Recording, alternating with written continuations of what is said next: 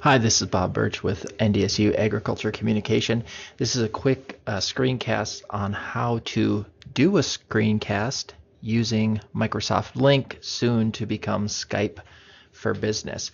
So, as you can see on my screen, I have the Lync client opened uh, on my computer.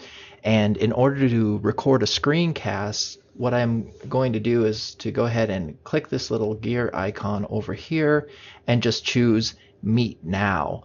And what that'll do is open up a video meeting uh, with just me in it. So let's show you what that looks like here. So here you see a video meeting that only has me in it. Now in order to actually uh, show your screen, what you're going to need to do is to click the little uh, screen button down here mouse over it and it'll pop up um, the different kinds of content that you can start presenting. And so even though inside the, the meeting here, it looks like I'm not presenting, I actually am. And when I start recording this, it will actually record what I'm presenting. So in my case, I decided to present my secondary monitor.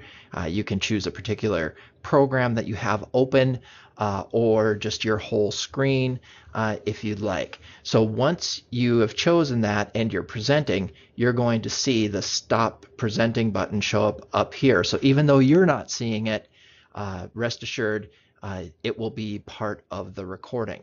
So then the last step is to actually start recording assuming you know that you have your audio working and you're presenting and everything, to start a recording, what you'll do is come down here to the little ellipses, more options, click on that, and then uh, if you're not recording, you'll have an option to start recording. I'm recording right now, so you can see I could pause my recording or stop my recording.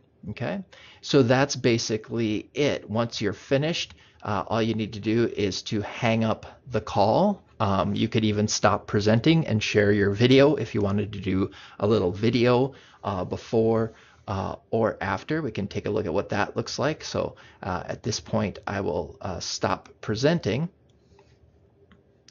and turn on my video.